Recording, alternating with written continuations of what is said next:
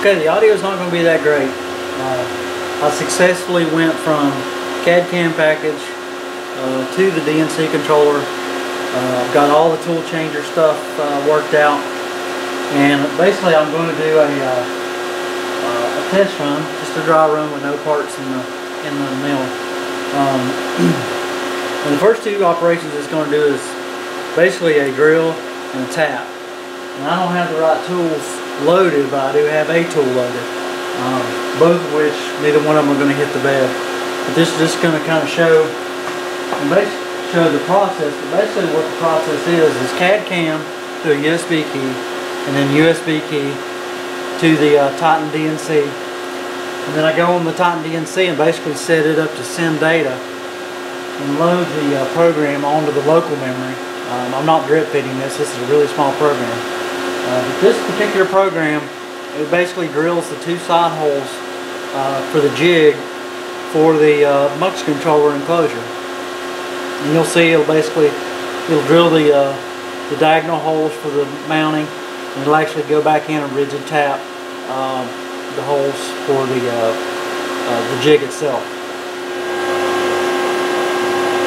Okay, I'm going to hit cycle start.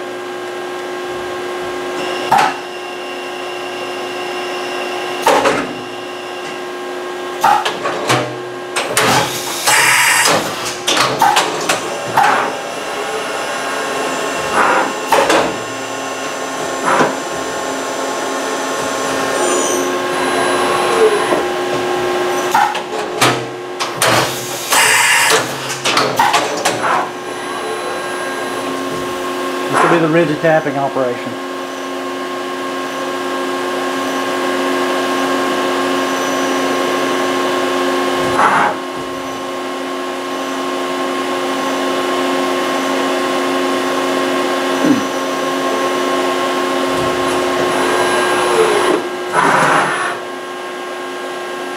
and the cycle's done.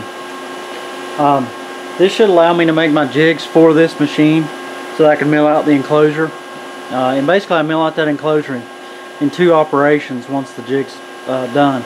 Uh, I basically mill out the top side which is which are all the bolt holes um, and those don't have any taps. Um, and then I mill the bottom side that has the cavity and uh, I take a ball mill and basically run the ball mill where the uh, wires come in and out of the uh, enclosure. Um, I do something really simpler for the other, uh, really similar to the other side of the box. Um, the only major exception is uh, that side's actually tapped uh, to accept the bolts, uh, and it's actually hauled out to where the board can fit inside of it, not hitting any of the components.